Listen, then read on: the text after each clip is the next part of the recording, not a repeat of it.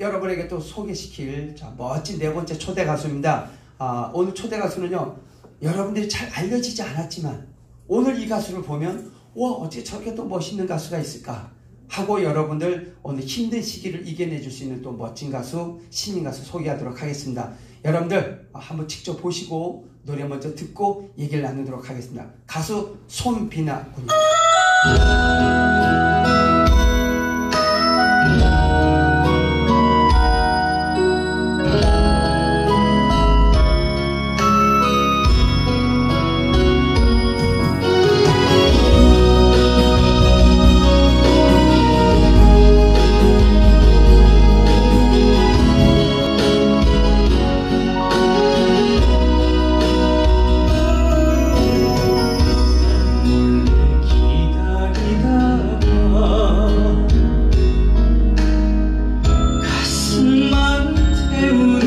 time.